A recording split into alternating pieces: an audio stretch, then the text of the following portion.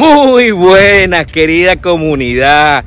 Hoy vamos a hablar de casarse, que esa es la forma más rápida, más efectiva y más expedita de tener papeles, casi que aquí, casi que en cualquier parte del mundo. Así que te voy a explicar hoy cuáles son los mitos sobre eso y sobre lo fácil que puede ser y cómo han complicado la cosa hasta el día de hoy aquí en España. ¡Empezamos!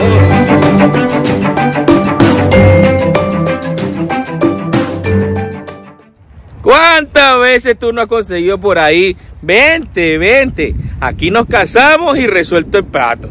Sí, sí, sí, yo agarro, me caso y pues ya está, me dan nacionalidad, eh, tengo papeles y tales. Hay mucha gente que todavía cree que es así de facilito, es así de fácil, de papita. Y no, no, no es tan fácil. Lo han complicado de un tiempo para acá. ¿Por qué? Porque ya la administración pública se dio cuenta de que mucha gente latina con nacionalidad o con papeles o con residencia, pues se ponía a inventar. así de simple. Y desde hace ya un tiempo, pues ya es más complicado hacer documentación al, o sea, por el proceso de casarse. Tú te puedes casar con alguien que tenga residencia, que tenga nacionalidad o que sea comunitario. Con cualquiera de esas tres personas te puedes casar y a través de esas personas puedes hacer papeles igual que hacer pareja de hecho. Pero existen una serie de requisitos los cuales no te hablan, ni te los comentan, ni te los mencionan.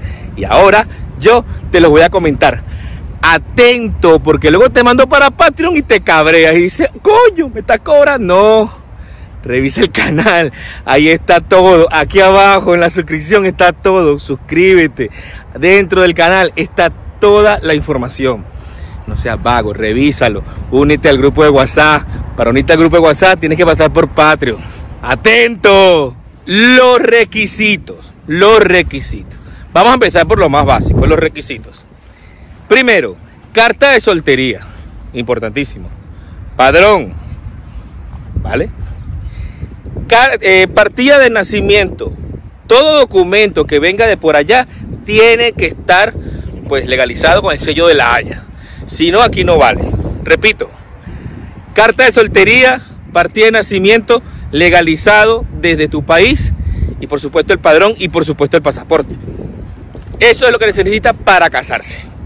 Más nada. Y tú dirás, bueno Gregory, pero si solamente se necesita eso, ¿cuál es la dificultad?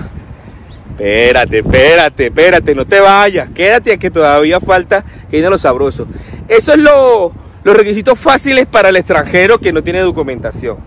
Para la persona que te va a otorgar documentación, es decir, en este caso puede ser un nacional, puede ser un comunitario o puede ser un residente. Para esos tres casos, ¿vale? Tienes que tener trabajo. ¿Sí? Porque no eres el típico vago que está en su casa y que tiene nacionalidad, lo que sea, entonces está haciendo un negocio con eso. No, ahora tienes que tener trabajo. O si no, tener recursos demostrables. Es decir, una cuenta bancaria de 6 mil euros al mes con un promedio, no es que lo acabas de depositar, no. Con 6 mil euros al mes, por lo menos los últimos 3 o 6 meses, ¿vale? y demostrar que tienes recursos para mantener a esa persona si es que no tienes trabajo porque si no te piden un contrato de trabajo a la persona que otorga documentación. Importante ese detallito. Una vez que tengamos esa, eso, eso ya cubierto, la persona, está, la persona que nos vamos a casar tiene su contrato, tiene recursos y tú tienes toda tu documentación, tienes que pedir una cita en el ayuntamiento donde te vayas a casar. Tienes que estar empadronado por lo general.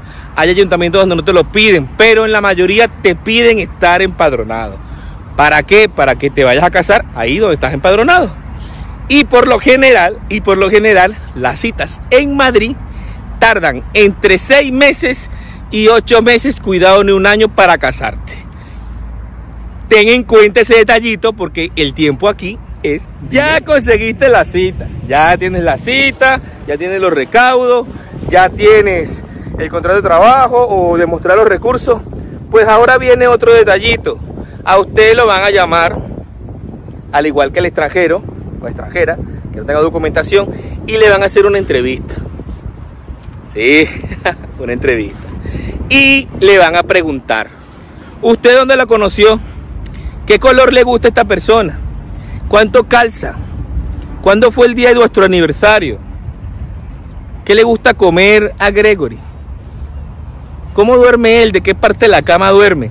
Y si por mala suerte el funcionario sospecha o induce de que vuestro matrimonio no es real, tremendo lío se pueden meter. O si en este caso son el típico, pues, una, una tipa de 45 años con un carajito de 20, cosas así. O el típico carajo de 40 y pico de años con una carajita de 22. Casualmente los dos son de nacionalidad venezolana. Mm, casualmente los dos son de nacionalidad eh, colombiana. Mm, eso lo miran. Si a usted lo pillan casándose, cuadrando, eso se llama fraude. Y a usted le cae su multica. Evitan que los pillen. Eviten meterse en problemas. Porque si usted lo pillan haciendo fraude, se va a meter en un problema. Créame. Usted consiguió pasar la cita, lo entrevistaron y todo salió perfecto. Estupendo. Se casaron y todo maravilloso. Usted tiene que sacar una cita para presentar la documentación en, el, en extranjería, donde usted la pida. Usted, cuando las citas tardan, ¿eh? Estamos hablando entre uno y cuidado dos meses en que salga la bendita cita, porque ni siquiera cita para eso hay. Ya por ese lado, más tiempo. Una vez que tenga la cita, usted va, presenta su documentación, va a extranjería. Tienes que ir acompañado de la persona que te está otorgando documentación. No puedes ir solo. Tienen que ir los dos. Van los dos y usted presenta su documentación. Pa, pa, les dan un resguardo. Ese resguardo a usted le va a servir como, como prueba de que usted está en trámite. Ahora el siguiente paso. Al cabo de tres, cuidado no cuatro meses, le aprueban. Usted se mete en internet con el código que le dieron a usted, el código de expediente, y usted se mete. Y ahí usted verifica. Ah, resultado favorable, eh, rechazado negativo. Si es aprobado favorable, esperemos que sí, usted ya se mete en otra página web a pedir la cita para la huella, que eso también es otro trámite. La huella tarda entre uno y dos meses más. Para que te hagas una idea de cuánto tiempo puede tardar hacer papeles de la manera de, o sea, casándote y para que te hagas un estimado del el tiempo que puede tardar eso. Usted no puede buscar trabajo ni le van a dar nada hasta que usted no tenga el plástico, o sea, la tarjeta de identificación de tarjero. Ahora se inventaron que le llaman TI, pero en realidad es el mismo NIE. en realidad se llama NIE, sino que la gente le dice así, o sea, a esta gente le pusieron así, para que, no, tienes que traerme el, el plástico. Pero en realidad es el NIE, el número de identificación de extranjero. El TIE es la tarjeta de identificación, o sea, es el plástico, o sea, el físico. Si no tienes el físico, no puedes buscar trabajo todavía. Y estamos hablando que eso puede tardar entre 6, 8 meses, 10 meses, cuidado no un año, desde que usted se puso a hacer su trámite para casarse. Tome en cuenta el tiempo porque el tiempo aquí en este país es dinero, dinero. Otro factor importante a tomar en cuenta es cuando te quieras separar o divorciar. Eso aquí cuesta dinero. Un divorcio rápido o express cuesta entre 500 y 800 euros.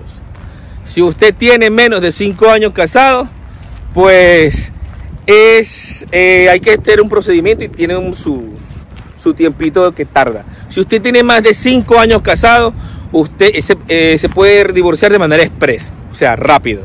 Eh, en uno o dos meses ya está listo eso.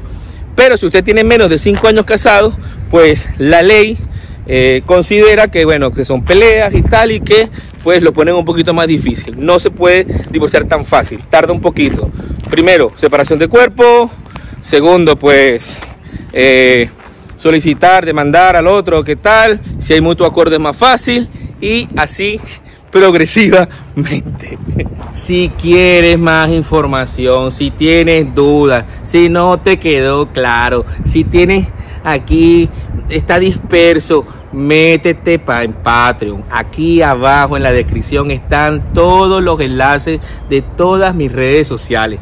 Te metes arroba Gregorif, arroba una alternativa. Aquí arriba en las tarjetas, en las tarjetas que están aquí arriba, vas a encontrar listas de reproducción donde puedes ver todos los videos explicándotelo todo paso a pasito, paso a pasito. No seas perezoso, métete en el canal y revísalo. Si no quieres revisarlo, quieres que yo te lo explique a ti directamente y personal. Pásate por Patreon, hijo mío.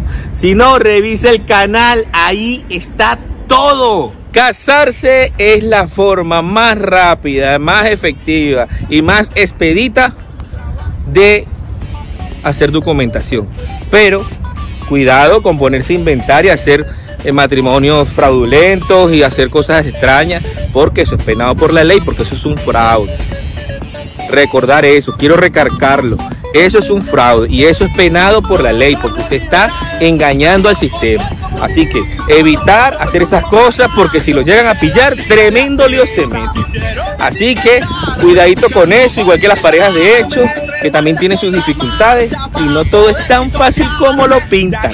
Acabo de explicarlo paso a pasito toda la dificultad o todo el proceso que equivale y eso sin que te reboten en nada. Todo esto es, te estoy hablando siendo optimista.